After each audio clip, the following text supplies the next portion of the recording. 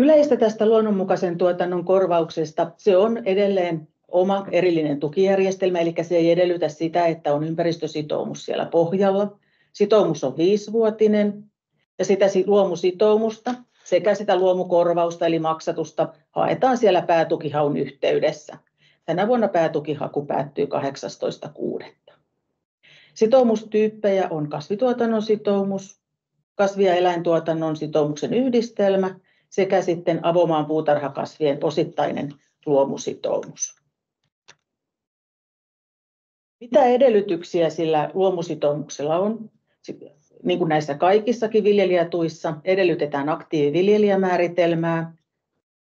Hakijan tulee kuulua luonnonmukaisen tuotannon valvontajärjestelmään koko sen sitoumuskauden ajan hakuvuonna viimeistään 1.5. Tämä tarkoittaa myös sitä, että jos on kasvituotannossa oleva tila, joka haluaa liittää eläimet luomutuotantoon, niin sen liittämisen tulee tapahtua 1.5. alkaen. Viljelijän on noudatettava luonnonmukaisen kasvituotannon ja kotieläintuotannon ehtoja ihan sieltä luomuvalvontaan liittymisestä alkaen. Koulutusvaatimus on 5 päivää, pakollinen koulutus kasvituotannon osalta ja eläintuotannon osalta sitten 2 päivää. Se koulutus tulee suorittaa ennen 30.4., koska se luomusitoumuskausi alkaa sitten 1.5. Luomusitoumuksen yleisiä edellytyksiä on vähimmäispinta-ala, eli 5 hehtaaria korvauskelpoista peltoalaa tulee olla sitoumuksessa ja puutarhakasvien viljelyssä vähintään 1 hehtaari. Toisena sitoumusvuonna on kaikkien niiden korvauskelpoisten lohkojen oltava luomuviljelyssä. Tila, jolla on jo luomusitoumus ja jos sille tulee lisäalaa tavanomaisesta tuotannosta, niin ne lohkot tulee olla heti hallintaan tulosta luomutuotannossa. Eli niitä ei voi sitten viljellä esimerkiksi ensimmäistä kasvukautta tavanomaisena. Sellainen huomioitava asia on näissä uusissa luomusitoumusehdoissa, että tulee suorittaa lisäkoulutuspäivä. Hakijan on se suoritettava tän sitoumuskauden aikana 1 päivä, 5 tunnin mittainen koulutus, jossa käydään lävitse luomutuotantoehtoja, sitoumusehtoja ja yleensä sitä luomuviljelyä. Sen todistuksen voi toimittaa sen päätukihaun liitteenä tai suoraan ely-keskukseen. Tai sitten on mahdollista hyödyntää neuvopalvelua vähintään 3 tunnin ajan, jonka sen voi jakaa kyllä useampaan kertaan. Silloin se neuvontalomake 676 neuvonnan hankenumero tai sitten muu selvitys siitä suoritetusta neuvonnasta tulee toimittaa ely-keskukseen. Tää lisäkoulutuspäivä on aikaa suorittaa tää sitoumuskausi. Huomioitava niiden tilojen osalta, jotka silloin 2023 mukautti luomusitoumuksensa elikkä käyttivät sitä edelliseltä ohjelmakaudelta jäljelle jäävää sitoumusaikaa. Elikkä noudattavat sitä vanhaa sitoumuskautta, mutta noudattavat uusia sitoumusehtoja. Siellä tulee sitten huomioitavaksi se, että jos se mukauttava tilan luomusitoumus päättyy vaikka 30.4.2025, niin heidän on luomutettava se päivän koulutus tai hyödynnettävä tätä neuvojärjestelmää luomun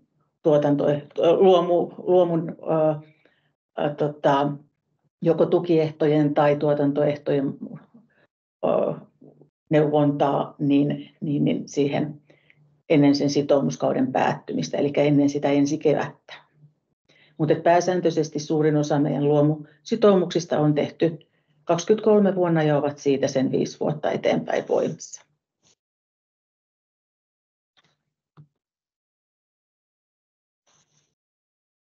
Peltolohkot, jotka siihen luonnonmukaiseen tuotantoon voidaan siihen luonnonmukaisen tuotannon sitoumukseen voidaan ottaa mukaan, niin on tosiaan korvauskelpoisia ja maankäytöltään peltoa.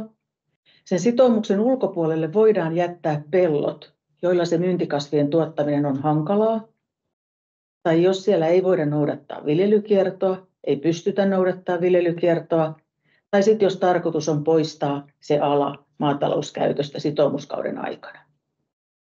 Tämmöisiä aloja, mitä voidaan jättää sen sitoumuksen ulkopuolelle, niin on mahdollisesti suojavyöhykkeet, turvepellot, lyhytkiertoiset energiakasvipellot, hankalasti viljeltävät kiviset pellot ja yksittäiset lohkot, jotka sijaitsee kaukana tilakeskuksesta ja sitten jyrkät rinnepellot. Tässä on esimerkkejä.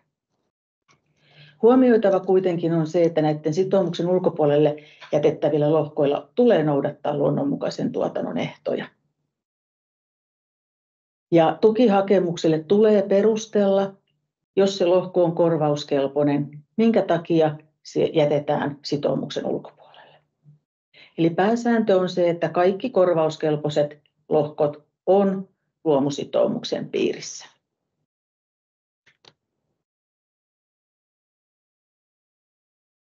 Luonnonmukaisen kotieläintuotannon sitoumus niin tehdään toimijalle, jolla on, tai voidaan tehdä toimijalle, jolla on vähintään viisi eläinyksikköä luonnonmukaisesti tuotettuja eläimiä jokaisena sitoumusvuonna. Ja se tarkoittaa sitä, että sen kyseisen toimijan tulee kuulua sen kyseisen eläinlajin osalta luonnonmukaisen tuotannon valvontaan. Jos eläinmäärä jää jonain vuonna alle viiden eläinyksikön, niin silloin se sitoumus muuttuu automaattisesti kasvituotannon sitoumukseksi. Hakijan on kuuluttava siihen valvontajärjestelmään ja siihen on siellä sitoumuksella, luomusitoumuksella ilmoitetaan ne eläinlajit, joita sinne sitoumukselle haetaan. Ja sinne voidaan lisätä kesken sitoumuskauden eläinlajeja, huomioiden vain, että ne on myöskin liittänyt huhtikuun loppuun mennessä luomuvalvontaan. Luomukotieläinkoulutus tulee olla käytynä se kahden päivän koulutus huhtikuun loppuun mennessä. Ja luomukotieläinkorvaus maksetaan luomusitoumusalalle, jolla täyttyy 0,5 eläinyksikköä per hehtaari. Eli tarkoittaen sitten sitä, että yhdellä eläinyksiköllä saa kahdelle hehtaarille luomukotieläintuen. Tähän on listannut luomusitoumuksen eläinyksikkökertoimet, joita en sit erikseen nyt tässä käy, käy lukemaan, mutta, mutta niitä voi tästä sitten, sitten tarkastella. Osittainen luomusitoumus on mahdollista tehdä, kun kyseessä on avomaa vihannesviljelyä, ja silloin se tehdään osalle tilan korvauskelpoisista pelloista. Huomioitava siinä on, että vuosittain on oltava avomaan vihanneksia vähintään yhden hehtaarin alalla. Että, se, että toimijalla voi, voi olla sitä avomaan vihanneksia luomussa ja, ja sitten voi olla mahdollisesti sitten viljanviljelyä tavanomaisessa tuotannossa. Eli se on, se on mahdollista tämmöinen niin sanottu rinnakkaisviljely ainoastaan avomaan vihannesviljelyn osalta. Avomaa vihannesten ala kerryttää vaadittavaa myyntikasvivelvoitetta kaksinkertaisena. Huomioitava on siinä se, että samaa kasvilajia ei voi viljellä sekä luomuna että tavanomaisena. Jos hakija ilmoittaa jonain vuonna avomaan vihanneksia alle hehtaarin alalla, niin se luomukorvausta ei makseta, mutta se avomaan vihannesten viljelysitoumus pysyy edelleen voimassa.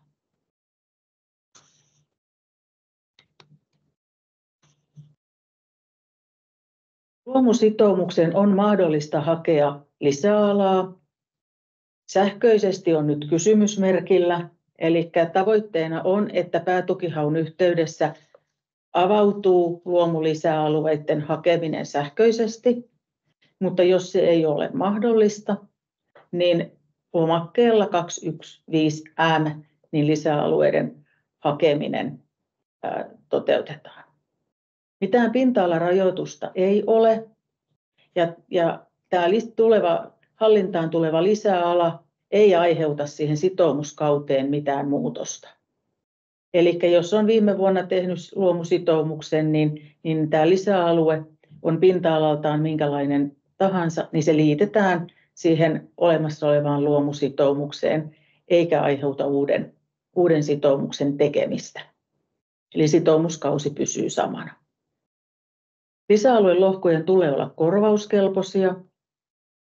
On mahdollista muuttaa tukihaun yhteydessä kasvituotannon sitoumuksesta kotieläintuotannon sitoumukseksi ja toisinpäin.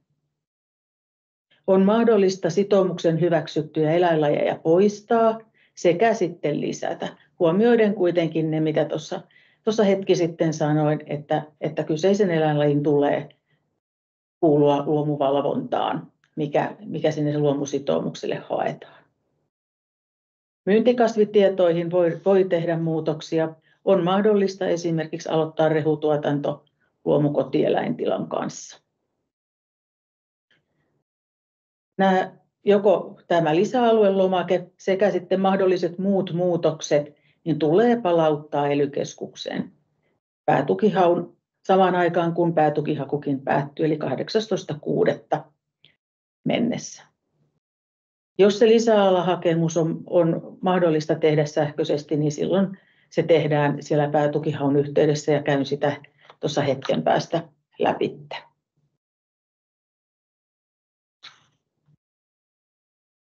Peruslohkoja on mahdollista laajentaa, kun se ala on alle puoli hehtaaria.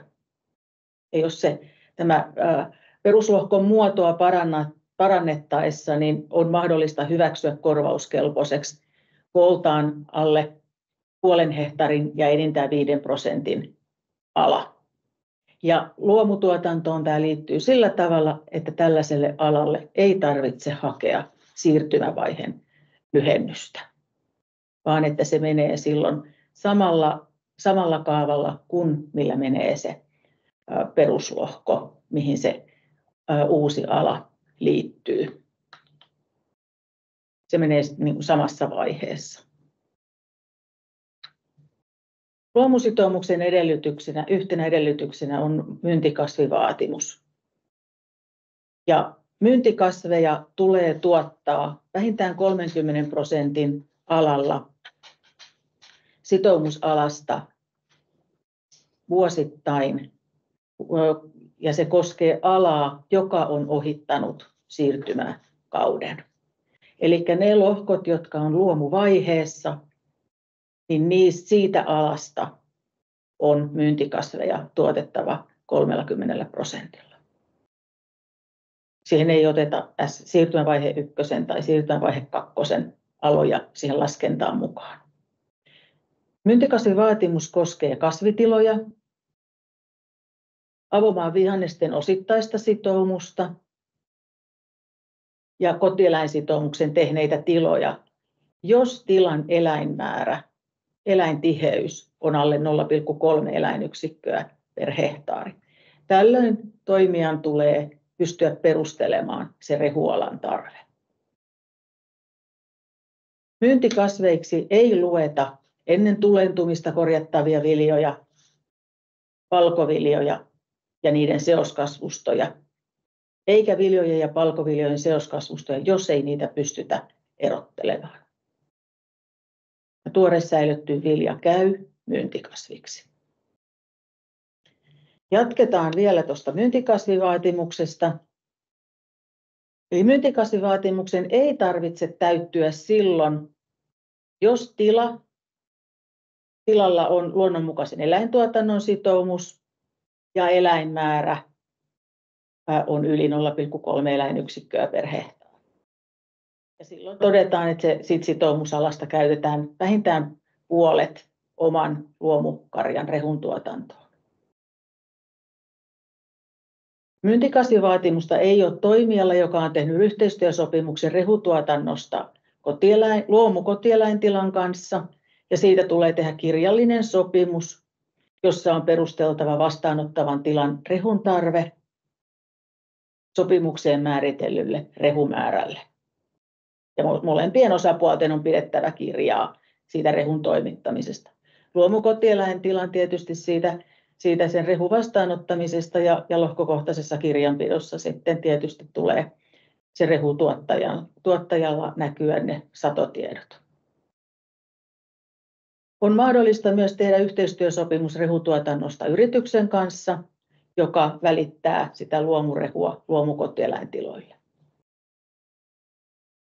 No mitä on nämä myyntikasvit? Eli en ole niitä sitten tähän eriksensä millään tavalla luetellut. Lista löytyy, jos laittaa Googleen hakusanan luomun myyntikasvit. Se on, se on lista kasveista, pääosin yksivuotisista kasveista, vilja, öljy, valkokasveista, joita tilalla, tilalla tuotetaan.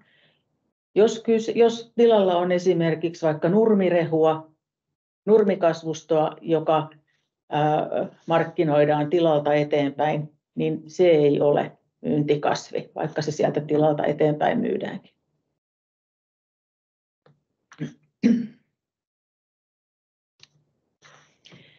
Myyntikasviksi hyväksytty seos.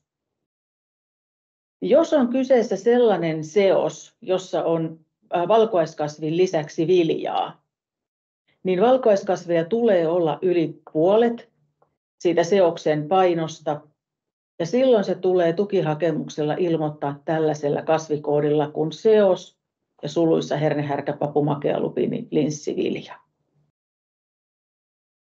Silloin se käy myyntikasvivelvoitteen täyttämiseen. Ja samaten nyt sitten nämä muut, muut, seos, muut seokset ja seoskasvustokoodit, mitä tässä on lueteltu, niin täyttää myyntikasvi, myyntikasvivaatimusta. Jos käyttää sellaista, sitä, sellaista kasvikoodia kuin seoskasvusto suluissa vilja plus valkoaiskasvit, niin se ei täytä myyntikasvivelvoitetta.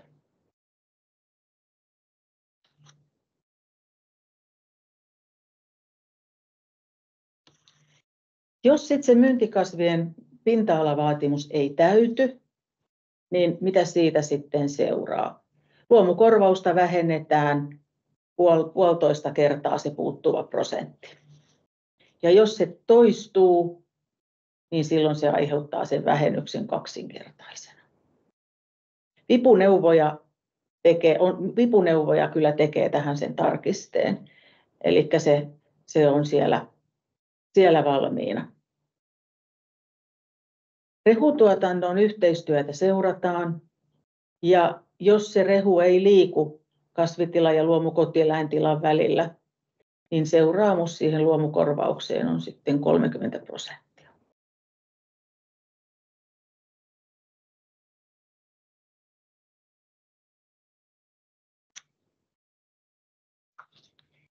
Ei aina oikein tykkää vaihdella näitä, näitä kalvoja. Rehutuotantosopimus, minkälaista sopimu, minkälainen sopimus tulee tehdä, niin siitä yhteistyöstä on tehtävä kirjallinen sopimus. Ja siinä kirjallisessa sopimuksessa tulee perustella se vastaanottavan tilan rehutarve sen sopimukselle määritellylle rehumäärälle. Siinä sopimuksessa on oltava osapuolten nimet ja tilatunnukset, voimassaoloaika ja arvio hehtaareina siitä rehumäärästä ja lajeista onko, onko kyse esimerkiksi vaikka laidunnettavasta alasta vai, vai onko sitten korjattavasta alasta. Ja siinä tulee olla perustelut sen kotieläintilan rehutarpeesta. Esimerkiksi, että laidunnalla ei ole riittävästi tai, tai että lohkojen sijoittelu, sijoittelun takia niin, niin, niin hyödynnetään sitä, sitä kasvitilan nurmialaa. Mutta että se, se tulee olla myöskin siinä rehutuotantosopimuksessa perusteltuna.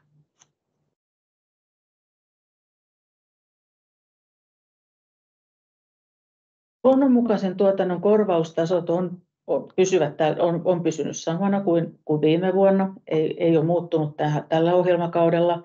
Kasvituotannon korvaus on 160 euroa hehtaari, avomaan vihannestuotannon 590 euroa hehtaari. Ja kotieläintuotannon 160 euroa hehtaari plus. Se kotieläinlisä 130 euroa hehtaari. Huomioiden niin, että se puolieläinyksikköä per hehtaari ää, riittää. Tai sille alalle maksetaan, mihinkä se puolieläinyksikköä hehtaari riittää. Eli jos eläinmäärä suhteessa peltoalaan on sellainen, että, että tämä jää, jää vajaaksi, niin silloin luomukotieläinkorvaus maksetaan vain sille alalle, mihinkä se eläinmäärä riittää ja lopu, loppuala saa sitten pelkästään sen kasvituotannon korvauksen. Korvausta ei makseta puuvartisten energiakasvien alasta muun hampun kuin EU kokonaan rahoittamaan perustulotukeen oikeuttavan hampun alasta, suojavöyhykelohkoista, eikä sitten ekojärjestelmän luonnonhoito nurmista ja monimuotoisuuskasveista, eikä kasvimaalle.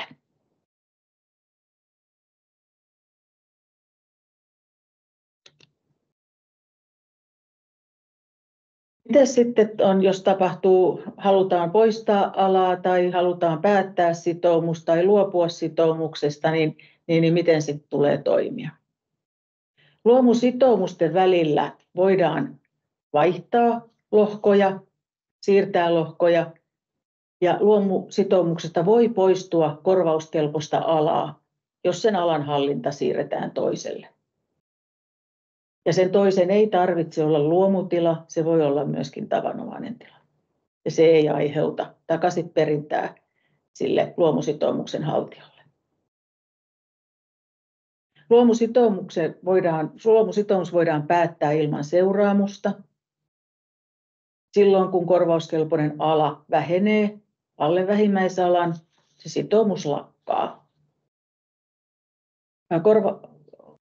Korvauskelpoinen ala tai eläinmäärä vähenee alle vähimmäismäärän koko tilan hallinnan siirron yhteydessä, niin silloin sitoumus päättyy ilman seuraamusta. Ja tietysti sitoumuskauden päättyessä, niin, niin, niin siitä ei ole mitään seuraamusta. Sitten tilanne, jossa siihen luomusitoumukseen tulee seuraa, luomusitoumuksen päättymisen seurauksena tulee, tulee seuraamus, niin toimija luopuu ennen sitoumuskauden päättymistä ilman näitä edellä mainittuja syitä. Ja sitoumusala pienenee muusta syystä kuin hallinnasta poistumisen takia. Ja sitten jos toimija siirtyy kesken sitoumuskauden tavanomaiseen tuotantoon, niin se aiheuttaa sitten sitoumukselle maksettujen luomutukien takaisinperinnän. Hakija voi luopua sitoumuksesta kesken sitoumuskauden ylivoimaisen esteen tai poikkeuksellisen, poikkeuksellisten olosuhteiden vuoksi. Silloin tulee ely ilmoittaa siitä 15 työpäivän kuluessa.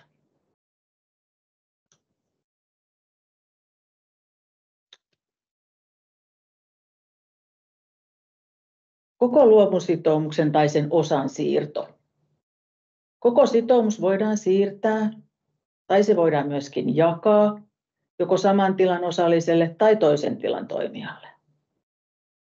Siirron, jat, siirron saaja jatkaa sitä olemassa olevaa sitoumusta ja se ää, kyseisen sitoumuksen sitoumusaika, sitoumuskausi pysyy samana. Huomioitava on se, että se siirron saajan tulee täyttää ne luomusitoumuksen hakijaa koskevat edellytykset. Pitää olla aktiiviviljelijä, Ikävaatimuksen tulee täyttyä. Täytyy olla luonnonmukaisen tuotannon koulutusvaatimus, se vähintään viisi päivää, ja kuulua sit, liittyä itse siihen tähän luomutuotannon valvontajärjestelmään. Jos sitten se siirron saaja ei jatka sitä sitoumuksen noudattamista, eli tarkoittaa siis sitä, että se edellisen viljelijän sitoumus, kun hän, hän, hän ei sitä enää itse jatka, niin silloin se sitoumus raukeaa eikä siitä sille luopujalle seuraa mitään takaisinperintää.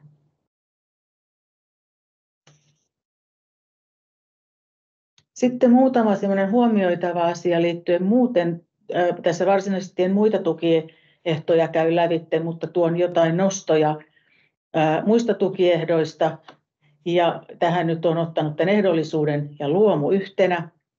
Eli huomioiden sekin, se, että Ehdollisuuden viljelykiertovaatimus ei koske luomutiloja, koska luomussa on viljelykiertovaatimus jo sieltä tuotanto, tuotantoehtojen kautta vähän erityyppinen viljelykiertovaatimus. Nurmet ja niiden kasvusto tulee niittää 15.9. mennessä ja 2023 jälkeen raivatuilla aloilla niin on pysyvä nurmikasvusto. vaatimus.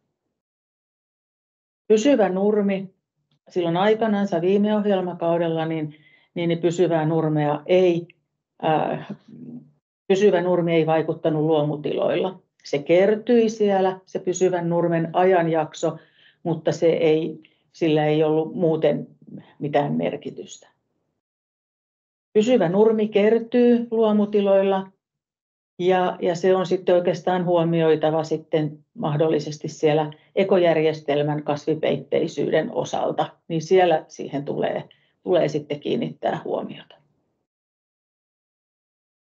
Joku muu kuin nurmikasvi, niin se nollaa ne nurmivuosilaskennat ja sen laskennan jäädyttää, eli pysäyttää niiden vuosien kertymisen silloin, kun on kyse tuottamattomasta alasta, viherkesannosta, ekojärjestelmän luonnonhoitonurmesta, suojavyöhykkeistä, turvepeltojen nurmista.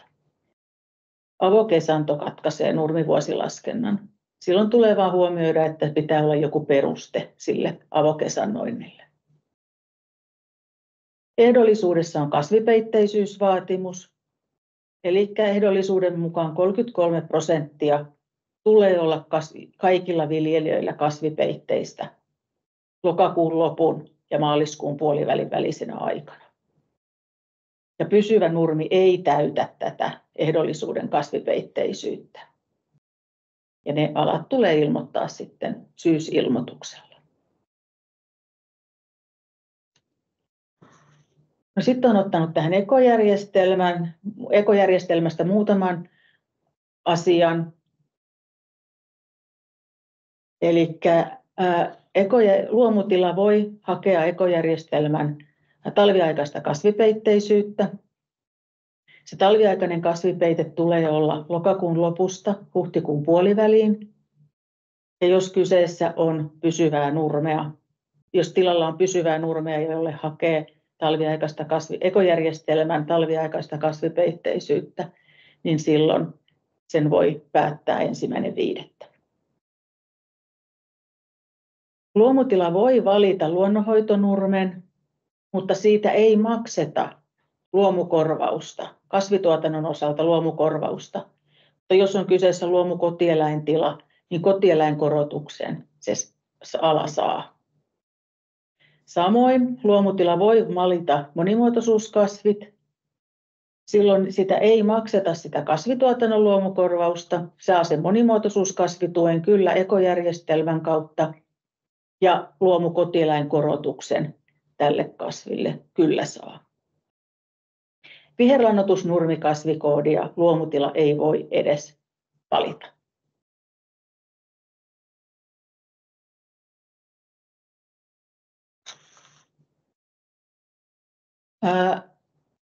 Nyt tulevana tulee huomioida, että, että siellä kasvulohkotiedoissa niin jokaiselle lohkolle tulee laittaa luomuvaihe.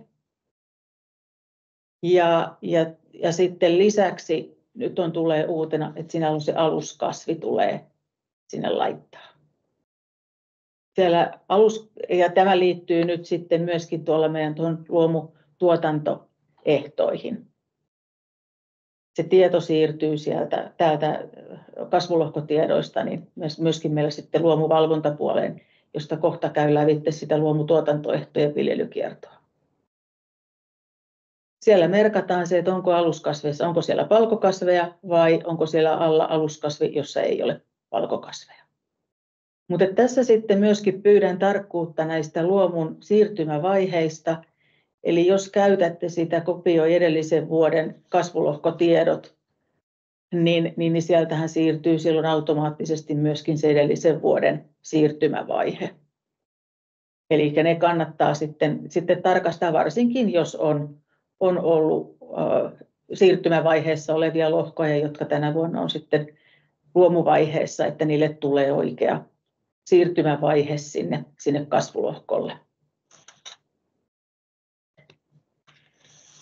Tässä on luonnoksena lisäalueen alan hakeminen luomusitoumukselle, eli siellä on luomu- ja sopimukset välilehti, joissa sitten aukeaa sekä, sekä tämä luomusitoumus että sitten nämä, nämä tämän päivän aikanakin läpikäydyt maatalousluonnon ja maisemahoitosopimus, että, eli Jaskin toi kosteikon hoitosopimus, niin täällä tulee, on, on, on, näkyy ne lohkot, jotka on jo luomusitoumuksella.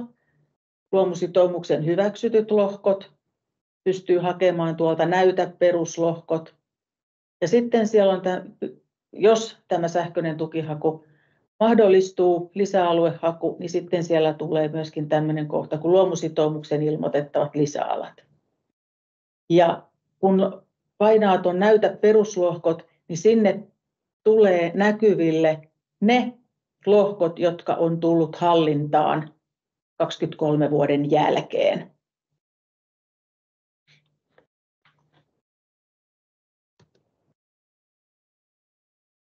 Ja sitten kun siitä sen avaa, sen näytä peruslohkot, niin siellä tulee lista lohkoista, jotka on tullut, tullut hallintaan ja siellä, siellä on sitten ne korvauskelpoiset lohkot. Pitäisi olla esivalittuna sitoumuksille haettavaksi.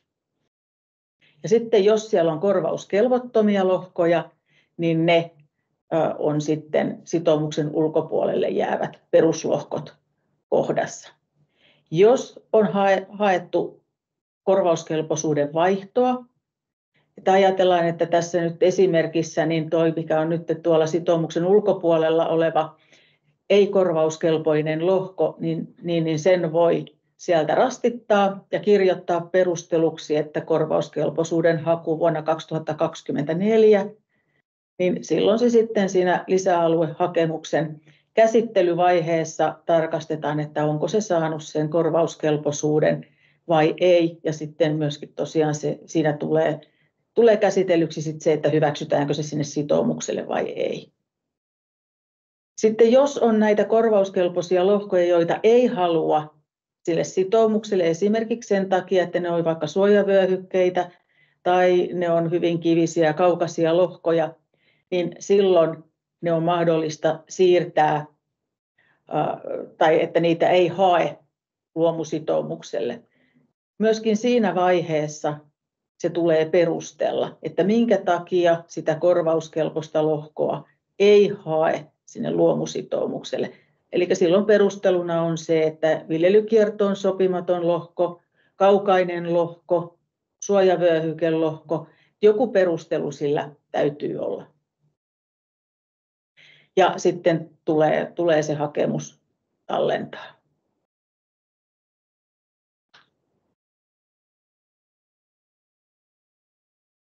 Näin. Siellä on tullut, tässä oli oikeastaan se, mitä mä ajattelin käydä lävitte luomusitoumuksesta, niin nyt voidaan käydä läpi niitä, niitä tota, ää, esille tulleita luomusitoumukseen liittyviä kysymyksiä. Joo.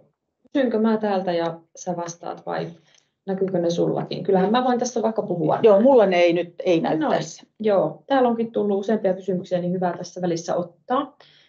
Öö, tuolta ensimmäinen. Järjestetäänkö näitä lisäkoulutuspäiviä kuinka usein?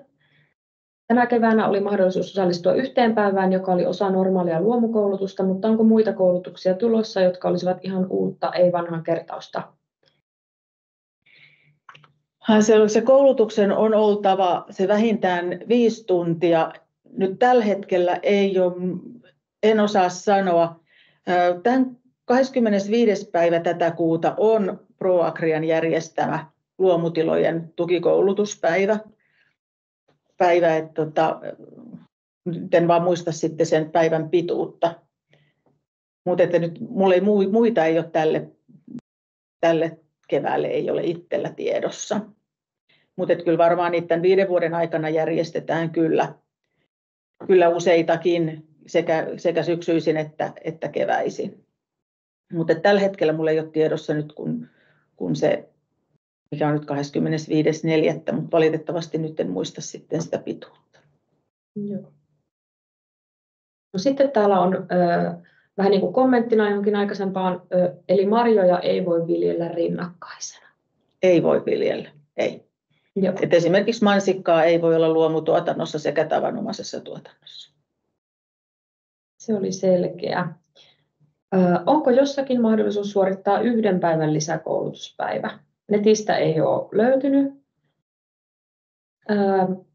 Ja sitten täällä ehdotetaan, että verkkotenttiä voisi olla hyvä, että tietoa tuommoisesta. Onkohan kyse nyt näitä tästä pakollisesta viiden päivän koulutuksen yhdestä päivästä?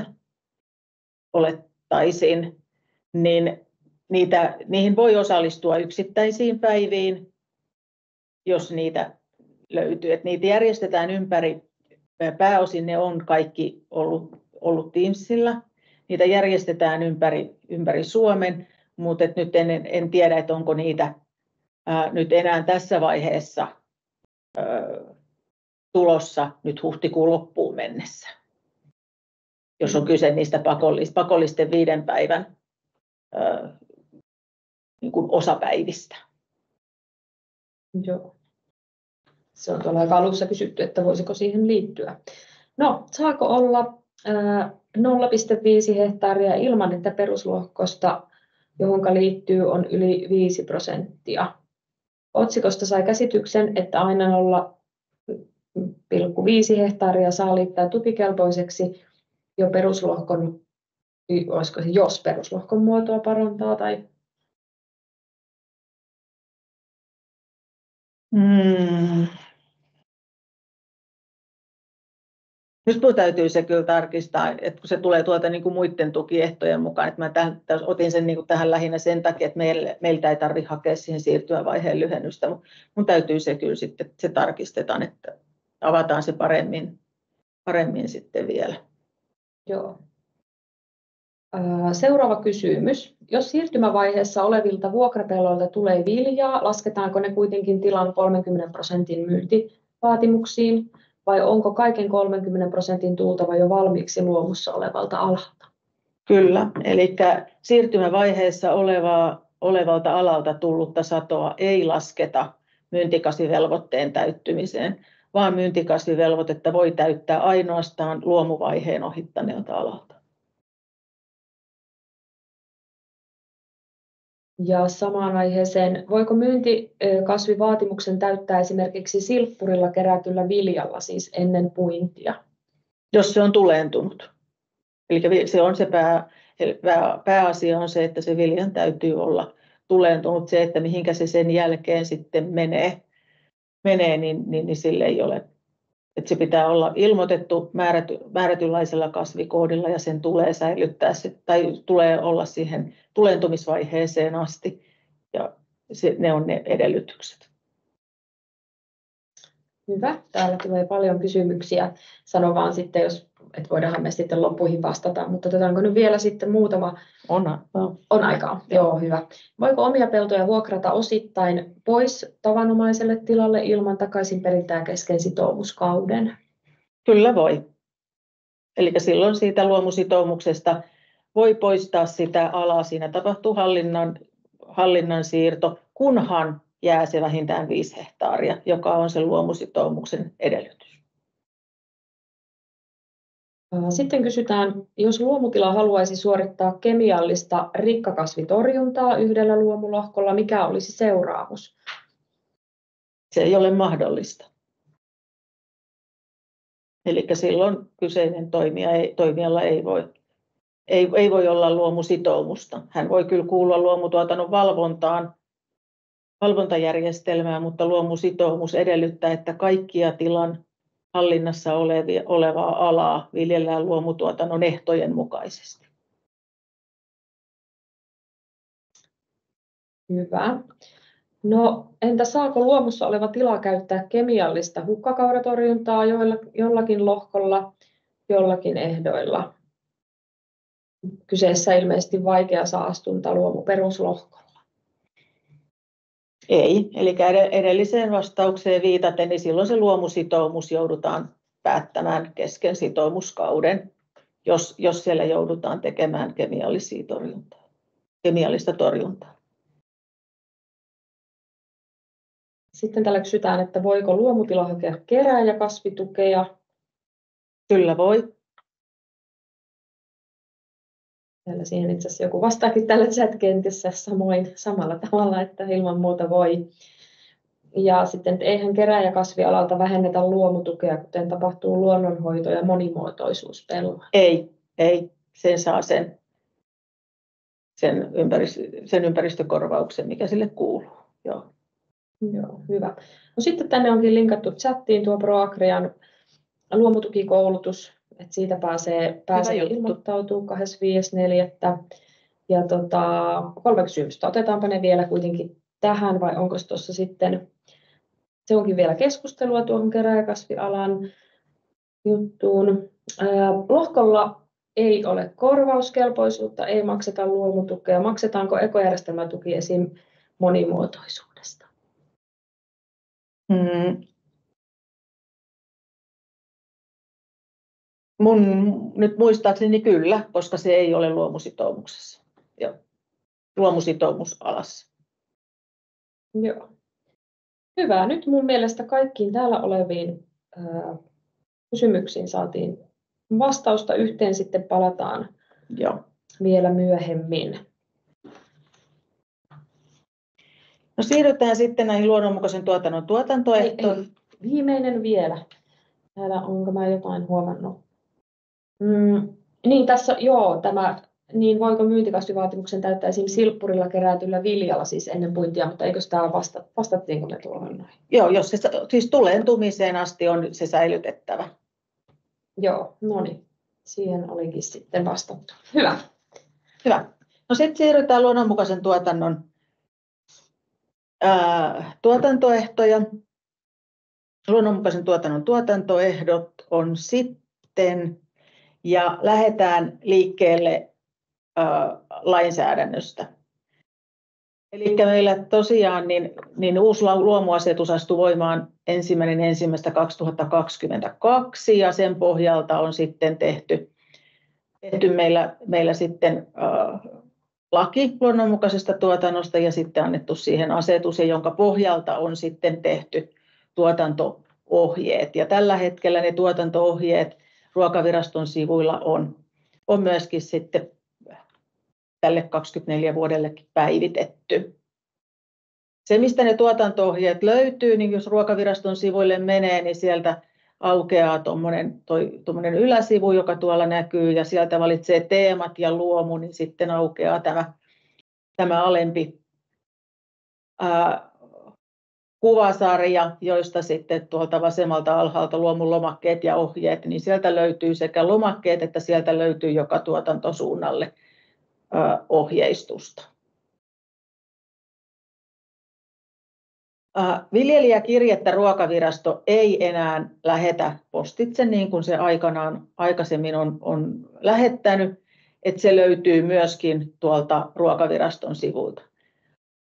Se löytyy esimerkiksi Googleen hakusanalla, hakusanalla luomuviljelijäkirje 24 2024, niin sillä, sillä se on myöskin mahdollista hakea. Eli siinä oikeastaan käydään lävitte nyt tietysti ajankohtaiset asiat ja myöskin ne, että mitä tulee ottaa huomioon luomutarkastusta varten.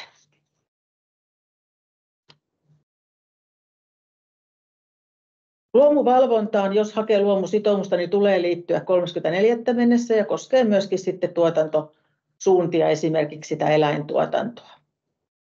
Tuotannon tarkastuksia tehdään vähintään kerran vuodessa ja se, joka niitä tarkastuksia tekee, niin on ruokaviraston valtuuttama tarkastaja tai sitten ely virkamies.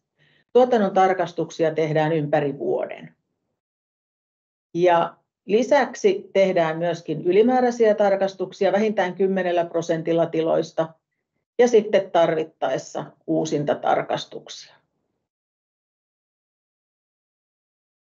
ely on velvoitettu myöskin toimeksi antamaan ennalta ilmoittamattomia tarkastuksia ja niitä tulee tehdä vähintään 10 prosenttia. Eli ei kannata ihmetellä, jos yhtäkkiä luomutarkastaja on koputtelemassa siellä, siellä oven takana, että, että se on silloin, silloin täyttää tätä ennalta ilmoittamattomien tarkastusten velvoitetta.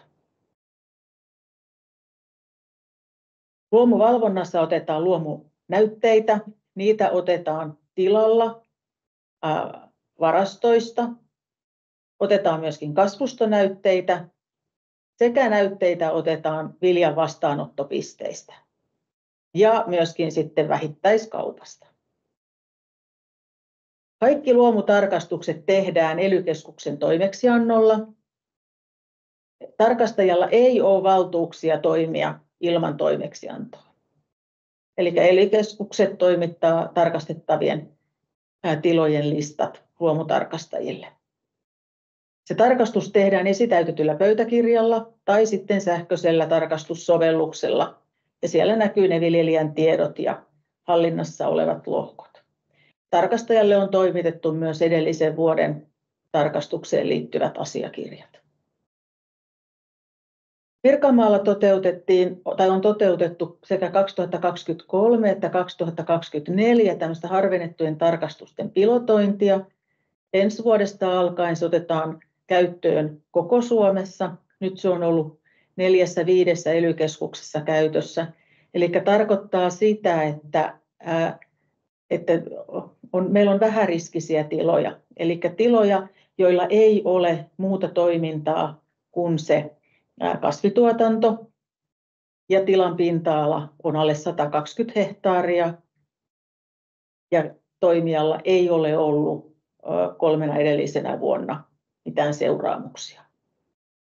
Tällaisten tilojen on mahdollista päästä tähän harvennettuun tarkastukseen, mikä tarkoittaa sitten sitä, että toimijalta Petropol-kyselynä kysytään varastotietoja ja mahdollisia siihen tuotantoon liittyviä muutoksia.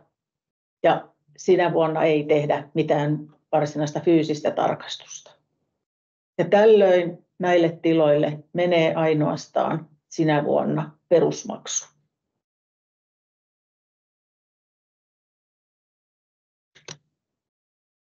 Meillä siinä harvennetussa tarkastuksessa oli viime vuonna noin 80 tilaa. Millä tavalla siihen luomutarkastukseen voisi valmistautua tai tulee valmistautua? Tärkeintä on se, että ne tarvittavat asiakirjat on ajan tasalla ja saatavilla. Nyt kun se luomutarkastusmaksu on myöskin aikaperusteinen, niin kannattaa kiinnittää siihen huomiota, että ne asiakirjat olisi saatavilla. Siellä tulee olla luomusuunnitelma, lohkokohtainen kirjanpito, varastokirjanpito ja varaston tase. Se tase tulee tehdä vähintään kalenterivuosittain ja siitä tulee selvitä se jatkumo. Sitä ei voida aloittaa joka vuosi alusta, vaan että siellä, koska kyllähän siellä se koko aika se varasto muuttuu. Sinne tulee sieltä kylvöaikaan, sieltä lähtee kylvösiemenet ja mahdollisesti sitten siinä jotain myyntejä ja sitten taas syksyllä sinne tulee sitä satoa. Se pitää koko aika selkeänä jatkumona kulkea se varastokirjanpito eteenpäin. Se pitää olla sellainen, että siitä myöskin pystyy tarkastelemaan vaikka muutaman vuoden taaksepäinkin, jos on tarve jotain erää selvittää. Myynti- ja ostoasiakirjat tulee säilyttää. Tulee olla dokumentit esimerkiksi siemenostoista. Tulee olla niistä ne vakuustodistukset tallessa ja sitten kannattaa tehdä vastaanottotarkastus tarkoittaen sitten sitä, että se mahdollisesti ostettu lisäysaineisto on sitä mitä on ostanut. Lähinnä sitten se, että jos on ostanut luomusiementä, niin ei sitten vahingossa ole tullut mahdollisesti sitten vaikka tavanomaista. Tai sitten myöskin tarkastaa sitten se, että kaikki sitten jos on ostanut sertifioitua siementä, vaikka siemenseosta, nurmisiemenseosta, niin siitä vakuustodistuksesta tarkastaa sen, että niille kaikille sen seoksen lajeille on luomukelpoisuus tai sitten miettiä sitä, että tarvitseeko mahdollisesti jollekin siemenelle hakea erillistä lupaa. Lähinnä sitten tosiaan se, että jos jotain ei ole kirjattu, jos varastokirjanpidossa ei ole vaikka viime syksyn kaurasatoa eikä sitä pystytä oikein millään tavalla todentamaan, että mitään on tullut ja, ja tota, varastossa jotain, jotain löytyy, niin, niin, niin kyllähän se silloin niin kuin herättää kysymyksen, että onko se tullut sieltä omalta, omalta pellolta, jos ei sitä näy lohkokirjanpidossa eikä varastokirjanpidossa. Ja, ja sille ei niin kuin ihan selkeää, selkeää historiatietoa löydy, niin, niin, silloin se viljelijällä on se näyttövelvoite ja jos ei sitä, jos ei sitä ole mihinkään kirjattu, niin kyllä siinä sitten, sitten joudutaan aika tarkkaan sitä lähteä selvittelemään, että mistäköhän se on sinne tullut, tullut se erä. Eli helpommalla siinä pääsee, kun tosiaan sitä mukaan ne, ne kirjaa ja pitää sen varastokirjanpidon ajan tasalla. Suurimmat puutteet meillä on näissä lohko muistiinpanoissa, varastokirjanpidossa. Eli ne on sellaisia, mihinkä, mihinkä kyllä kannattaa, kannattaa kiinnittää huomiota, koska voi olla, että joudutaan lähteä selvittämään jotain varastotietoja useampia, useampaakin vuotta taaksepäin, niin, niin, niin silloin se varastokirjanpidon juoksevuus on, on, on erittäin tärkeää. Luomusertifikaatti tehdään kaikille luomutoimijoille ja, ja, ja se löytyy löytyy tuolta osoitteesta. Ää, esimerkiksi jos hankkii vaikka luomurehua, luomukotieläintila hankkii luomurehua kasvitilalta, niin, niin, niin se kasvitilan luomuvalvontaan kuuluminen, niin kannattaa tarkastaa. Tarkastaja voi vaikka tulostaa sitten sen sertifikaatin tuolta, tuolta Traces-järjestelmästä.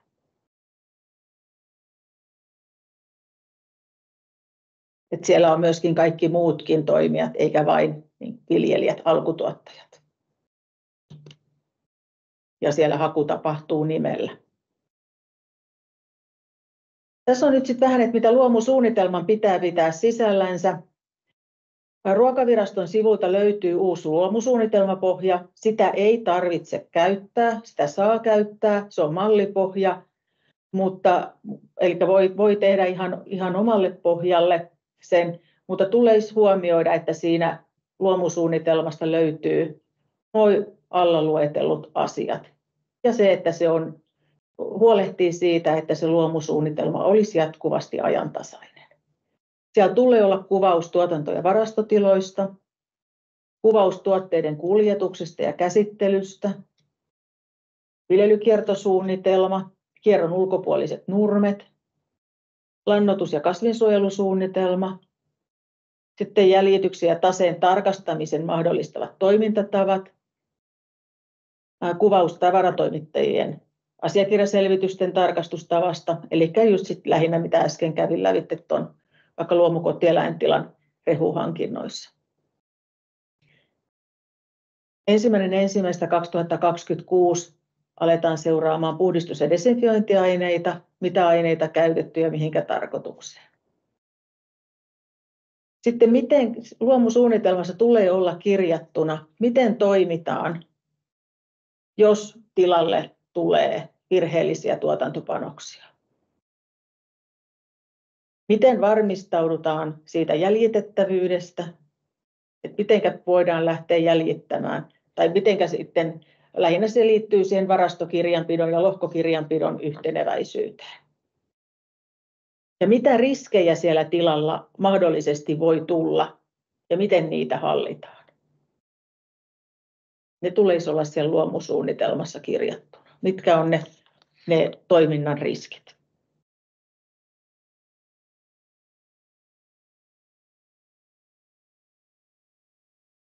Luomuvalvonnan maksut nousi nyt vuodelle 2024. Eli liittyminen luomuun on 117 euroa. Tarkastusmaksu vähäriskisillä tiloilla on 185 euroa ja sitten tiloilla, joilla on jotain muuta tuotantosuuntaa kuin kasvituotanto, tai sitten pinta-ala on yli 120 hehtaaria, niin se on sitten 340 se perusmaksu. Ja lisäksi tuntihinta on 152 euroa alkava puoli, alkavalta puolelta tunnilta. Jos käy niin, että toimijasta johtuvista syistä sitä tarkastusta ei pystytä suorittamaan, niin siitä lähtee tarkastusmaksu sille toimijalle. Siemenlupahakemuksia, jos on kyseessä 1-5 lajia ja hakemus tehdään sähköisesti toukopalvelun kautta, niin se on 23 euroa, paperisena 46 euroa. Ja jos on kyse yli viidestä lajista, niin se on sitten 46 euroa ja paperisena 93 euroa. Jos meille laittaa hake, sillä lailla nyt olen toiminut, että jos meille laittaa siemenlupahakemuksen paperisena, niin tulemaan sähköpostilla, niin laitan takaisin viestiä, että, että onko mahdollista hakea sen sähköisen toukopalvelun kautta, niin, niin silloin se on, on hieman edullisempi. Siirtymävaiheen lyhennys lupahakemuksen hinta on 93 ja eläintuotannon luvat on myöskin 93 euroa.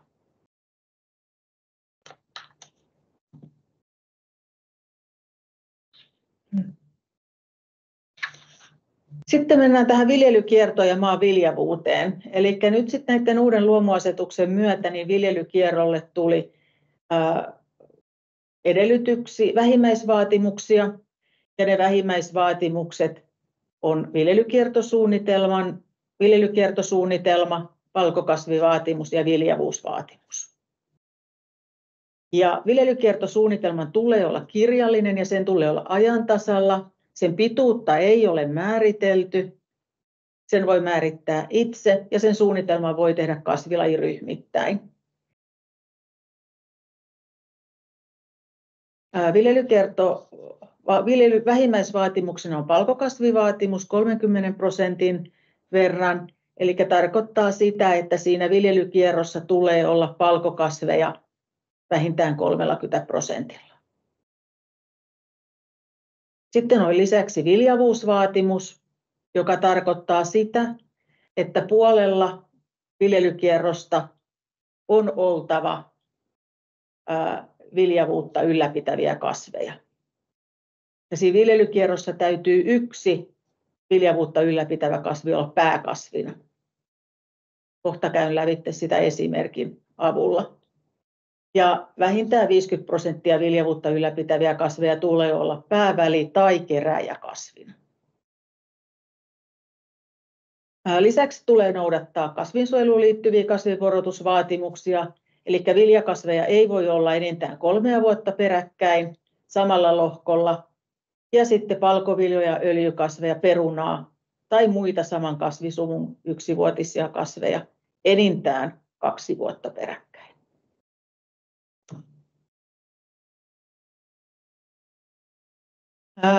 Mitä luetaan näihin palkokasveihin? Palkokasvit on hernekasvien heimoon kuuluvia kasvilajeja ja palkokasvivaatimusta voidaan täyttää palkokasvien puhdaskasvustoilla ja kun kyseessä on suurisiemenisiä palkokasveja ja, ja suuri, suurisiemenisten palkokasvien ja esimerkiksi viljojen seoskasvustoja, niin silloin se palkokasvien osuus on oltava vähintään 50 prosenttia tai vähintään 50 kiloa.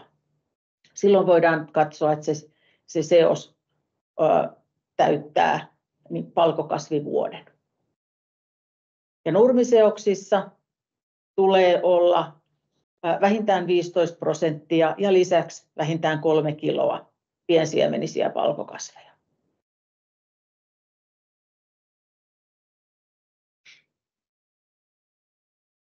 Mitä hyväksytään viljavuutta ylläpitäviksi kasvustoiksi? Siihen hyväksytään yksi- monivuotiset nurmet, aluskasvit, jotka voi olla nurmipalkokasveja nurmikasveja tai välikeräjäkasveja. Keräjäkasvina voi olla Italian raiheinä tai muu nurmiheinä tai muu nurmipalkokasvi tai seos, mutta huomioitava se, että keräjäkasvi ei voi koostua yksinomaan typensitojakasveista. Yksivuotisilla puutarhakasveilla ja varhaisperunalla hunajakukka, öljyretikka tai muokkausretikka kasvustoilla voidaan sitä maanviljavuutta viljavuuden, viljavuutta täyttää. Ja vilja voi olla keräjäkasvina vain lohkoilla, joissa on samana vuonna viljelty perunaa tai varhaisvihanneksia. Viljavuutta ylläpitäväksi kasvustoksi hyväksytään myöskin runsaasti satotähteitä tuottavat kasvit, esimerkiksi keräkaali tai pakasteherne.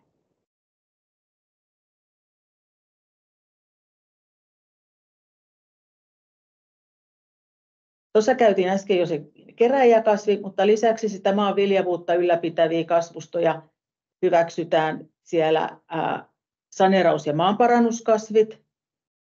Ne täyttää viljavuusvaatimusta ja maanparannuskasvit on lueteltu tässä. On öljy- ja muokkausretikka, mailaset, ruisrehuvirna, valkosinappi, mesikat, sikuri, hunajakukka, auringonkukka, kumina.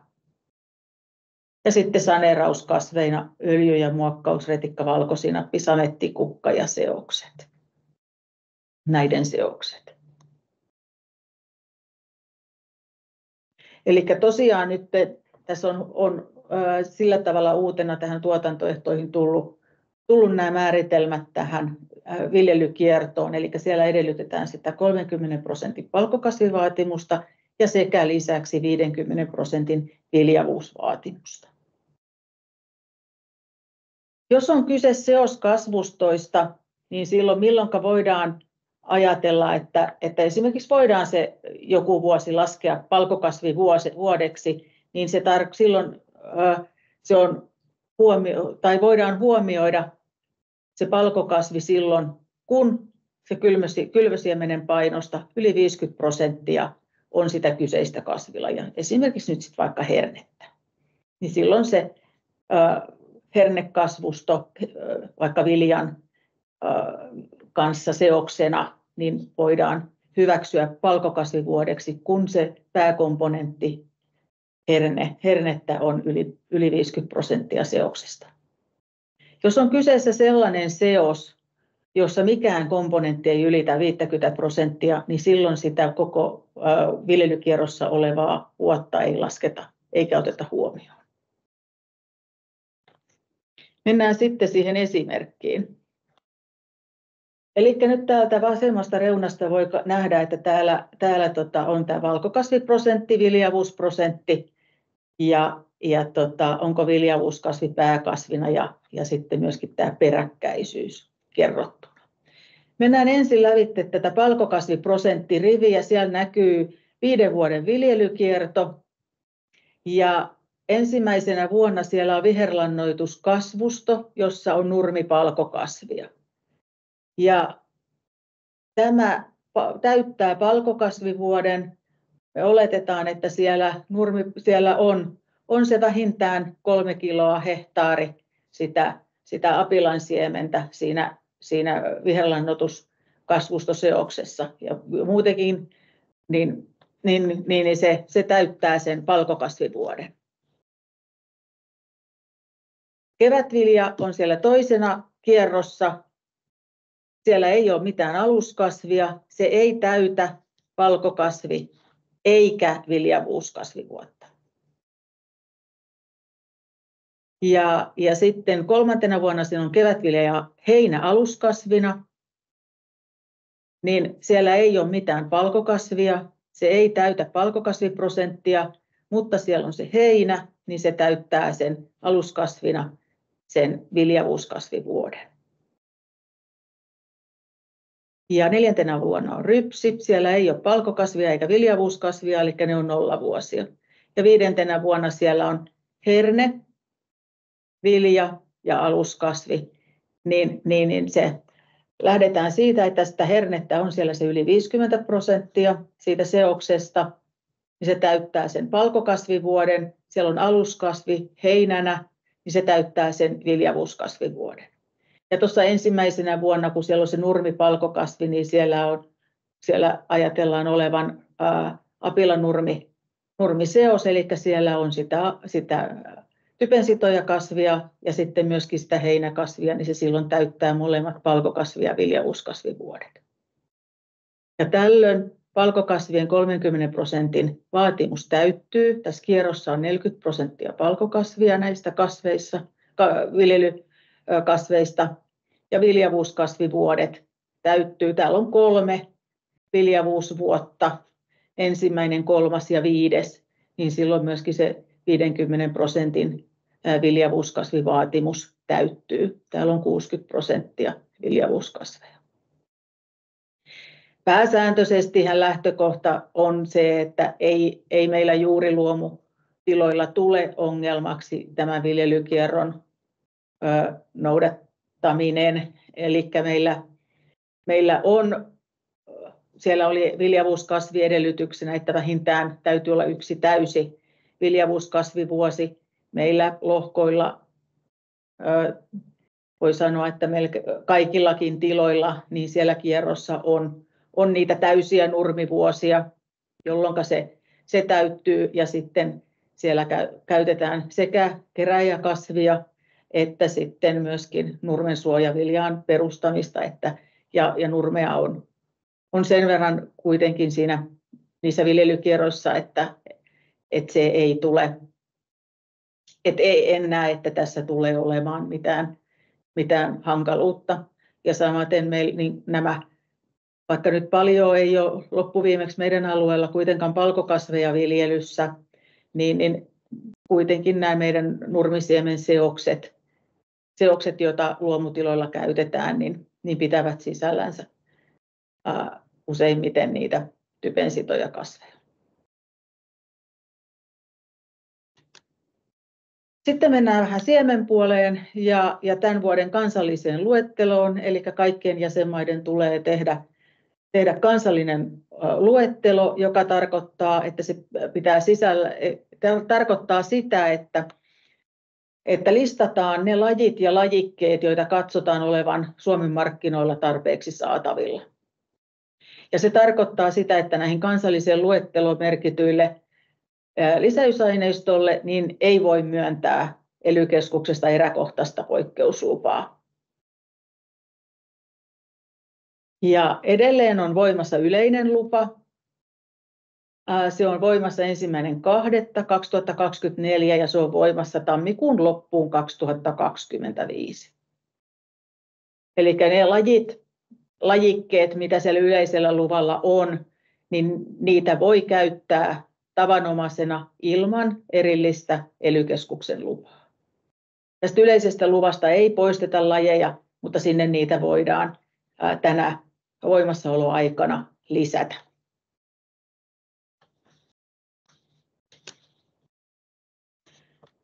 Nyt tämä 2024 vuoden kansallinen luettelo pitää sisällänsä timotein, punaapilan, rehuherneen, ja siitä ne lajikkeet, joista on määrä tuottaa satoa tulentuneena puitavaksi. Se ei koske ruokahernettä eikä sitten tulentumattomia, kasvustoja. Uutena on tullut syysruis, syysrapsi, syysvehnä, ruokonata ja tähän kansalliseen luetteloon merkitseminen, niin se ei koske sellaista lisäysaineistoa, jota käytetään oman uuden lisäysaineiston tuotantoon. Mutta muuten niin näille lajeille niin ei voida myöntää elykeskuksesta eräkohtaista tavanomaisen siemenen käyttölupaa.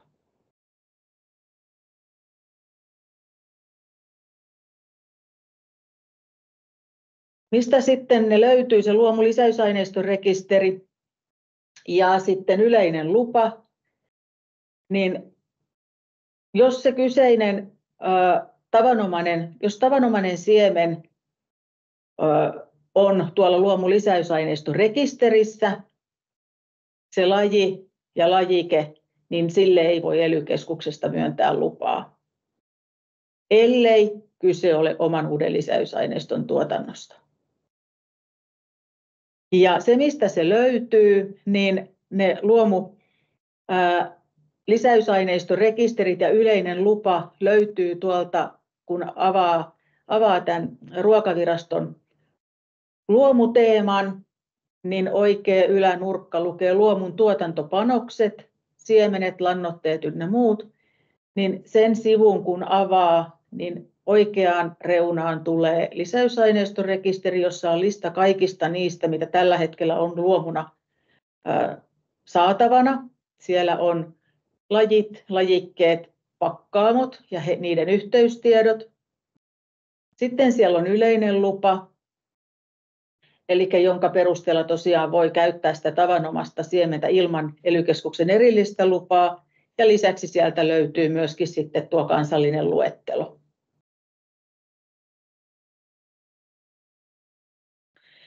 Huomioitava sitten semmo, niin, no semmoinen asia, että jos, jos tilalla on vanhaa varastoa, vanhaa siemenvarastoa aikaisemmilta vuosilta, niin, niin, niin ää, nyt tulee tarkastella sitten tätä yleistä lupaa, mikä on ensimmäinen kahdetta alkaen voimassa, että onko ne varastossa, ole, ole, varastossa oleva lisäysaineisto tai mahdollisesti jonkun seoksen ää, lajit, niin onko ne siellä yleisellä luvalla. Jos on, niin asia on ok. Jos ei ole, niin sitten tulee tarkastella se, että sille täytyy hakea ely poikkeuslupa.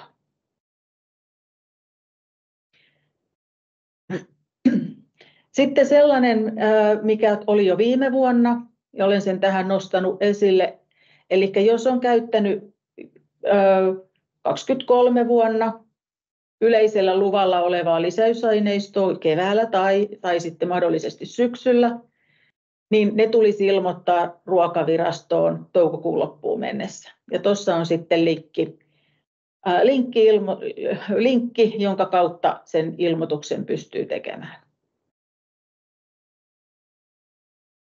Samalla lailla toimittiin silloin niiden 22 vuoden osalta, eli mitä 22 vuonna oli käytetty yleisen luvan, yleisellä luvalla olevia, olevaa lisäysaineistoa, niin ne tuli ilmoittaa silloin viime vuonna toukokuun loppuun mennessä.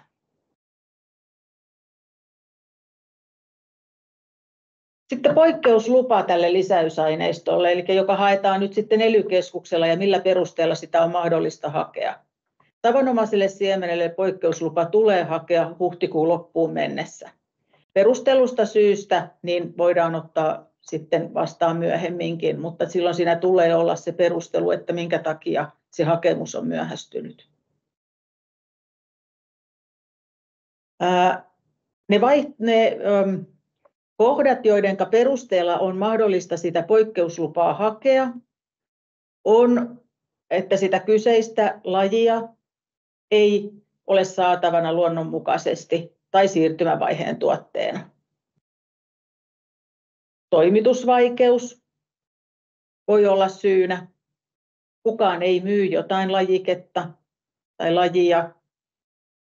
Ja nyt tuossa on vähän jäänyt kirjoitusta pois, mutta se tarkoittaa, että myyjä ei pysty toimittamaan lisäysaineistoa ennen kylvyä tai istutusta, vaikka se on tilattu hyvissä ajoin. Se listalla olevat lajikkeet on soveltumattomia, eli viljelijä haluaa viljellä, haluaa viljellä käyttää jotain sellaista lajiketta, jota siellä saatavien rekisterissä ei ole saatavana. Silloin tulee perustella lajikeominaisuuksilla se haluttu lajike. Tutkimuskäyttö- ja lajikkeen suojeluun on mahdollista hakea poikkeuslupaa ja sitten oman uuden lisäysaineiston tuotantoon. Tämä oman uuden lisäysaineiston tuotanto tulee siinä hakemuksella perustella. Eli siinä tulee perustella sen haettavan lisäysaineiston määrä tulee olla sellainen, että sille saadulle sadolle on olemassa niin sanottu sijoitus. Eli jos nyt hakee vaikka 2000 kilolle kauran siementä lupaa uuden lisäysaineiston tuotantoon ja sen kylvää, kylvää sitten monelleko hehtaarille sen sitten kylmää, vaikka seitsemälle hehtaarille, niin, niin, tota, niin paljonko sieltä seitsemältä, jos sieltä tulee nyt sitten vaikka 12 000 kiloa kauraa, niin sille 12 000 kilolle tulee olla osoittaa tulevien vuosien kylvöala. Huomioiden kuitenkin sitten mahdollinen kuivaus, lajittelu, hävikki. Eli se tulee perustella. Eli tarkoitus on, että jos hakee uuden lisäysaineiston tuotantoon tavanomaiselle siemenelle lupaa, niin, niin tarkoitus on, että se menee siihen oman uuden kylvösiemenen tuotantoon. Eli emme voi myöntää kovin suurelle määrälle sitä sit kilomäärälle sitä lupaa. Ja tämä oman uuden lisäysaineiston tuotannon lajikkeet, lajit ja lajikkeet voivat olla myöskin sellaisia, jota luomu lisäysaineiston rekisterissä on luomuna saatavana. Eli se on, se on siinä on mahdollista. Tämän on ottanut muutamia vakuustodistuksia ihan vaan niin kuin malliksi. Ää, ensimmäinen on, tar- ensimmäisessä vakuustodistuksessa niin on kyse siitä, että koko sen seoksen, nurmiseoksen ää, tota, lajit ja lajikkeet on siirtymävaiheen siemeniä. Eli se on nyt se on ihan, ihan, ihan ok. Siirtymävaiheen siemenet on, on SV2.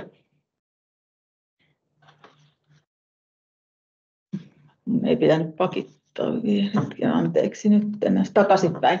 Sitten tuossa vieressä on tuo luonnonmukainen siemenseos, niin se tarkoittaa sitä, että kaikki ne lajit ja lajikkeet, jotka siinä on lueteltu, niin ne on luomutuotettuja. Tässä tämä vasemmanpuoleisessa on sekä luomu- että siirtymävaiheen siementä, niin se on ihan, ihan ok seos. Sitten tämä oikeanpuoleinen, niin, niin siinä, siellä on ö, tähdellä merkitty ne siemenet, jotka on luonnonmukaisesti tai siirtymävaiheen ö, luonnonmukaisesti tuotettua tai sitten siirtymävaiheen siementä. Ja nyt sitten huomataan, että siellä tämä alsikeapila ja valkoapila, niin ne on tavanomaisia. Eli tarkoittaa nyt sitä, että tällainen, tällaisen vakuustodistuksen tullessa vastaan, niin tulee käydä katsomassa sieltä yleiseltä luvalta, että onko nämä kyseiset lajit siellä yleisellä luvalla. Jos on, asia on ok. Jos ei ole, niin sitten tulee miettiä, että ely olisi haettava näille kyseisille lajeille niin tavanomaisen siemenen käyttölupa. Ja se, mikä vielä tulee sitten tässä huomioitavaksi, että jos tilalla on 23 vuonna tuotettua SV1, niin sitä ei voi käyttää lisäysaineistona.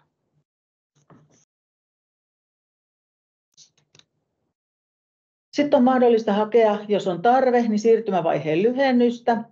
Ja jos on tämmöinen niin, kuin, niin sanottu tukivalvottua alaa, eli, eli lohko on kuulunut ympäristökorvauksen, luonnonhaittakorvauksen piiriin, ja se on ollut tukihakemuksella, ja siellä ei ole todistettavasti lohkokirjanpidon mukaan, ei ole käytetty kolmena edellisenä vuonna mitään luomussa kiellettyjä tuotantopanoksia, niin sille on mahdollista hakea siirtymävaiheen lyhennystä. Jos on kyse tällaisesta muusta kuin niin sanotusta tukien piirissä olevasta alasta, esimerkiksi näistä pellon ulkopuolisia alueita, isompia raivioita, metsämaita, niin niistä tulee myöskin osoittaa se, että siellä ei ole käytetty niitä kiellettyjä tuotantopanoksia, mutta sitten lisäksi niin ne käydään paikan päällä katsomassa.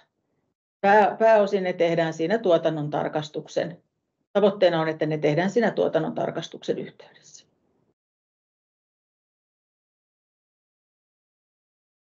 Näin, tässä oli sitten tämä luomu tota, tuotannon tarkastuspuoli. Siellä on varmaan tullut nyt sitten kysymyksiä. No mäpä luen tämän Marika, niin sä voit, onko tässä kysytäänkö tässä, että Aikaisempaan tuon 0,5 hehtaarin niin korvauskelpoista alaa voi kasvattaa korkeintaan 5 prosenttia peruslohkon alasta, kun muutokset ovat muotoa parantavia. Isommilla oli 10 hehtaaria lohkoilla lisäksi tuo 0,5 hehtaarin peruslohkon rajoitus. Siinä oli vain kommentti Joo. ilmeisesti. Joo. Näin. Juu.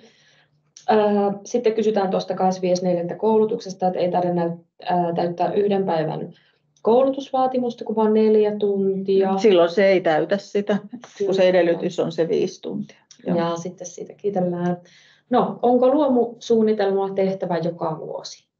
Ei ole tehtävä joka vuosi, eli luomusuunnitelma tehdään siinä vaiheessa, kun toimija liittyy luomutuotannon valvontaan ja sen jälkeen pitää sitä jatkuvasti ajan tasalla. Eli jos tilalla tapahtuu muutoksia, niin ne muutokset tekee sinne, kirjaa sinne luomusuunnitelmaan, mutta sitä tosiaan ei tarvitse tehdä, tehdä uudelleen. Sitä voi käydä katsomassa sitä, sitä ruokaviraston luomusuunnitelmapohjaa. Eli se on, se on luomusuunnitelmaan voi, voi ajatella sillä tavalla, että jos itse on ö, pois kotoa, niin se luomusuunnitelman pitäisi olla sellainen, että joku muu pystyisi tekemään niitä mahdollisia toimia siellä tilalla tai niin kuin tietää, miten siellä toimitaan ilman, että, että kyseinen viljelijä itse on siellä paikalla. Eli luomusuunnitelma kuvaa sitä sen, sen tilan, sitä tuotantoa ja tuotantotapaa ja miten siellä missäkin vaiheessa toimitaan. Hyvä. No sitten täällä on kysytty, että miksi enää pelkkä valkoapila käy keräjäksi. Edellisellä kaudella kävi, oli erittäin hyvä matalana ei tullut viljan yli ja kehitti typpeä maahan. Miksi enää pelkkä valkoapilla käy niin? niin se tulee nyt sieltä ympäristökorvauksen tukiehdoista, eli siellä ei sallita enää pelkkää apilaa, niin pelkkiä, pelkkää typensitoja kasvia yksinään keräjäkasviksi mikään hän ei, niin kuin, jos ajatellaan näin, että mikään ei estä laittamasta sinne pelkästään sitä vaikka valkoapilaa, mutta silloin ei ole mahdollista hakea sitä kerää- ja kasvikorvausta. Sitten tota, voiko viljan keräjäkasvina ja talviaikaisena kasvipeitteenä toimia siemenviljetilalla puinnista maahan jäävät pienet jyvät, joita ei yritetäkään puida siementuotantoon, Pelta, pelto ö, idätyssäestetään matalaan heti puinnin jälkeen. Itämisen varmistamiseksi muokataan vasta keväällä. Kysymysmerkki. Joo, se olisi hyvä, mutta valitettavasti se, se ei käy. Eli se tulee myöskin sieltä taas sieltä ympäristökorvauksen kerä- ja kasviehdoista. Eli siellä ei vilja, vilja ei voi olla siellä muuta kuin sen perunan ja mikä siellä nyt oli tois, niin vaan jälkeen, että vilja ei voi olla viljan jälkeen, jälkeen kasvina. Sitten taas, jos ei hae sitä ympäristökorvausta, niin, niin sitten se, että jos siellä on sitä kasvustoa, viljakasvustoa, niin, niin, niin ei sitä myöskään voida täällä niin kuin tuotanto, tuotantoehtojen kautta hyväksyä, ei, ei palkokasvivuotena eikä viljavuusvuotena, koska viljakasvustoa ei, ei sellaisena hyväksytä, vaan siellä hyväksytään vaan se valkokasveina se, ne typensitojakasvivuodet ja sitten viljavuuskasvustoina vain ne nurmi, nurmivuodet, joilla sitä, niitä voi täyttää. Eli viljakasvusto ei täytä näitä luomuviljelykiertoehtojakaan. Joo. Sanoit, että tilatun tuotteen vastaanottotarkastus kannattaa tehdä. Tuo tarkoittaa, että ei ole pakko. Nyt on ollut pakko lähetteeseen kirjata allekirjoituksia, että on tehty tuo tarkastus. No kyllä se, joo, no täytyy sanoa, että on pakko tehdä. joo, kyllä se täytyy, täytyy tehdä, eikä luomutarkastaja tarkastaa, että se vastaanottomerkintä sieltä löytyy. Joo, kyllä. Hyvä. No sitten ei ole äh, täällä chatissa enempää kysymyksiä tuleeko nyt vielä mieleen, haluaako joku kysyä ihan ääneen tai vieläkö, vieläkö joku mietityttää? Hiljaista on. Mä vielä selaan tässä, mutta en ainakaan huomaa, että, että olisi nyt tullut sitten muita.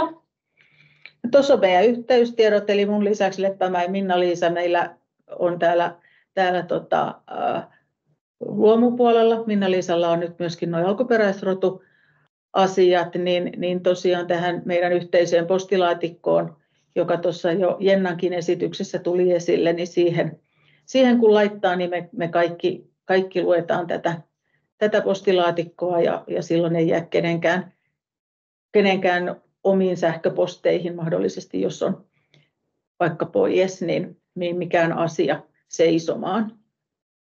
Yksi kysymys itse asiassa vielä tuli tänne. Ää, tuleeko takaisin perintä, jos vuokran kaikki pellot ja lopetan? Ei tule, eli jos lopettaa ma- ma- kokonaan maatalouden harjoittamisen, vaikka se luomusitoumuskausi on kesken, niin siitä tulee meille tehdä kirjallinen ilmoitus, eli samalla, samalla myöskin sitten otetaan se käsittelyyn se luomutuotan, luomutuotanto, tai tuosta luomuvalvontajärjestelmästä eroaminen. Eli ei tule takaisin perintää.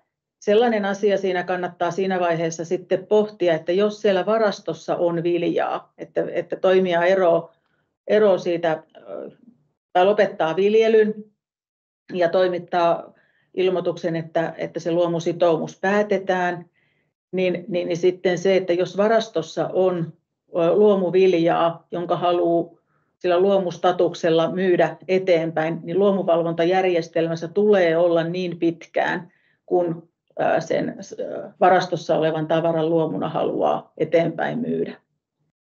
Eli se, se on sitten, että siinä vaiheessa kun ilmoittaa eroavansa luomuvalvontajärjestelmästä, niin samasta hetkestä katkeaa myöskin se luomusertifikaatti ja silloin sieltä tilalta ei enää sen ajankohdan jälkeen pysty mitään myymään luomuna eteenpäin. Hyvä. No nyt tulee vielä kysymyksiä. Ää, tuleeko ennen vuotta 2023 korjatulle SV1 omalle siemenelle hakea käyttölupaa elystä? Kyllä, tulee hakea. Ja riippuen sitten siitä ö, siemenestä, niin, niin, niin onko meillä mahdollisuus myöntää sitä lupaa.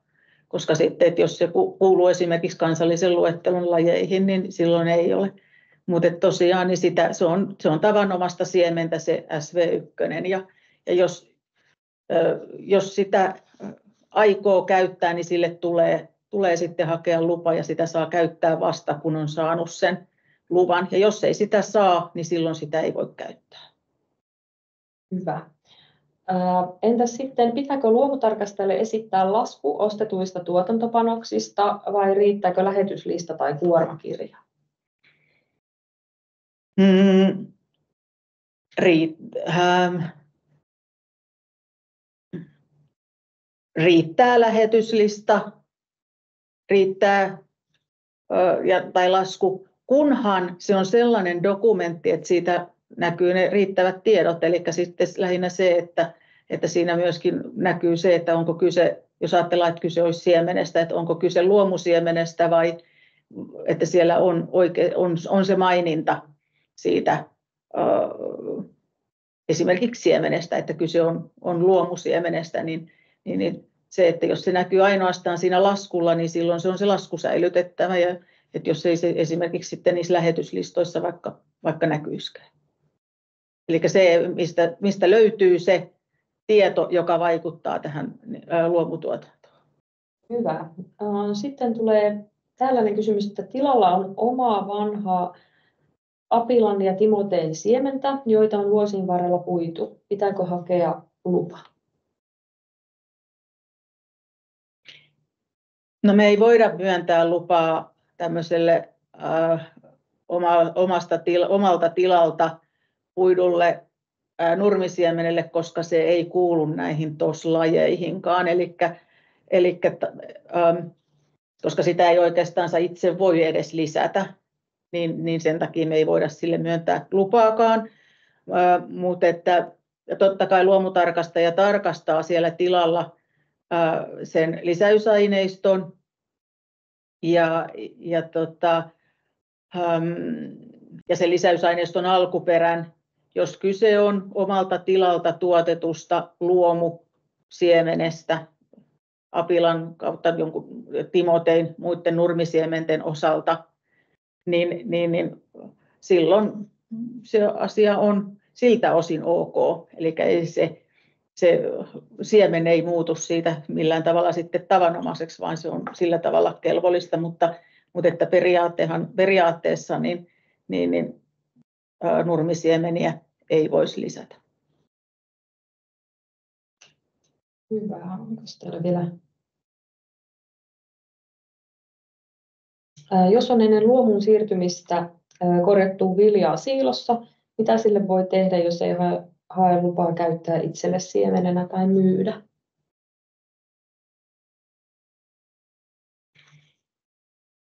Eli siilossa on tavanomaista siementä, jota ei halua käyttää tai, tai ei halua tai ei pysty käyttämään omana, ö, omana tota, kylvösiemenenä, mutta ei halua sitä myydäkään. Käsitinkö oikein? Jos ei ole lupaa käyttää itselle siemenenä Joo. tai myydä. Joo. No sitten en osaa oikein, oikein sitten se vaan pitää säilyttää siellä siilossa, koska, koska tota, että parhain vaihtoehtohan on, että, että sen sieltä myy pois, jos ei sitä ole mahdollista käyttää siemenenä, niin sitten sen myy pois, pois sieltä. Että tietysti niin kauan kuin se siemen siellä tilalla on, niin niin kauan sitä tulee kuljettaa varastokirjanpidossa. Tässä oli sitten, tarviko SV2-siemen lupaa tai kelpaako luomusiemeneksi? Joo, kelpaa. Eli siirtymävaihe kakkosen ö, sato tai siemen, niin käy kylvösiemenenä. Nyt tuli ö, jatkokysymys, tai että SV menee, ei tai olla jatkokysymys vähän erillinen, SV2 menee kuitenkin myyntiin tavanomaisena. E, no, periaatteessa joo, mutta siis siirtymävaihe kakkosen satoa jotkut ostaa. Esimerkiksi rehufirmat ostaa siirtymävaihe kakkosen satoa, eli saa, siitä saa pikkusen paremman hinnan kuin tavanomaisesta. Eli sitä, sitä, on, sitä on mahdollista myydä SV2. Mutta jos ei se mene SV2, niin silloin se on tosiaan tavanomasta. Kyllä. Mutta SV2 ainakin rehufirmat ostaa viljaa. Joo, täällä tuli nyt käsi nousi pystyyn. Eli tota, kysy vaan. No niin, Aho Pelusatumaria tässä, tässä. Hei. Nyt huomasin tosiaan, että, että tota toi, on, toi luomutukikoulutus on jäänyt tuntia liian lyhyeksi. Ja nyt ihan kysyn näin, että jos me jatketaan tässä pikaisesti sitä tunnilla, koska se on ihan mahdollista ja todennäköisesti se niin meneekin, niin, niin tota, ja pistetään sinne nettisivuille, niin onko se vielä mahdollista tässä vaiheessa vai tota, että saadaan siitä se viisi tuntia, koska se, sitä ei ole silloin ajateltu, kun se on ollut, ollut tota, teon alla. Joo, kyllä. On mahdollista, mun puol- tai niin kuin, on mahdollista jatkaa sitä viisituntiseksi. Eli ehtonahan on pelkästään, että luomuun liittyviä asioita, viljelyyn, tuotantoon, sitoumusehtoihin liittyviä asioita koulutetaan vähintään viisi tuntia ja siitä annetaan todistus. No niin, silloin me tehdään sillä tavalla, että siitä tulee viisituntinen koulutus ja se täyttää tämän vaatimuksen. Kiitoksia. Kiitos. No niin, hyvä sitten siitä tota, tulee ihan sopiva täsmäkoulutus sitten, sitten tarpeeseen. Tuleeko muita, muita kysymyksiä mikrofonin kautta? Täällä on laitettu kommentti, että luomun kysyntä on laskenut, mikä on huono juttu luomuviljelijöille. Kyllä, joo. Kysyntä on laskenut ja huomaa sen, että niin kuin tuolla kaupoissa niin valikoima on pienentynyt. Kyllä, että, että tarjontaa ei ole enää samalla tavalla kuluttajillekaan. Käykö Fursele tai Jokionen, jos pui itse kylvösiemeneksi? Riippuen minkä, missä vaiheessa se lohko on. Eli jos se on joko siirtymävaihe kakkosta tai sitten luomuvaiheessa oleva lohko, niin, niin, niin silloin kyllä. Hyvä. Tota, kysymyksiä saa esittää ja, ja tota, niin, niin, kysyä suoraan asiantuntijoilta ja tallenne tulee ja materiaalikin on siellä, varmaan vaihan siihen on joku pieni, pieni muutos, niin, niin tota, jos olette ladannut sieltä nyt materiaalin, niin tulee vielä toinen sieltä nettisivuilta, mistä voi, voi tota tarkistaa ja tallenne sitten pariksi viikoksi katsottavaksi, että voi, voi kerrata tuonne maaseutu.fi kautta Virkanmaa sivulle. Hyvä, oikein paljon kiitoksia teille kaikille munkin puolestani ja oikein hyvää tätä kevättä.